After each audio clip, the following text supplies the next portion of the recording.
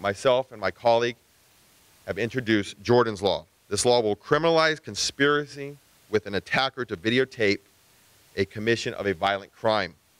While in most of these cases, the videotaper is not conspiring to actually commit the attack, they are conspiring to tape it and to upload it onto social media, and that is wrong. A few months ago, Jordan was attacked while walking out of Wendy's. He suffered a traumatic brain injury, fractured skull, ruptured eardrum, and future unknown problems that hurt me, hurt his mom, and hurt him. Recording violence and sharing it has to stop.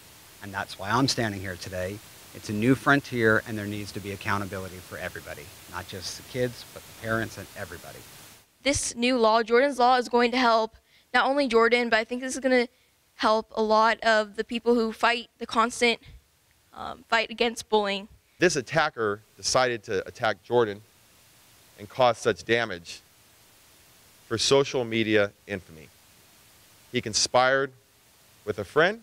They decided to attack Jordan randomly and tape it to put on social media to see how many likes and hits they could get. To see how you and your father have turned this incident into an inspiring movement to make sure that other young people, other parents, don't suffer the way you did is something that is truly commendable. And uh, that's why I'm looking forward to making sure with my colleagues that we're able to pass Jordan's Law to make sure that everyone in our community knows that it is not acceptable to conspire to commit a crime and post it on social media.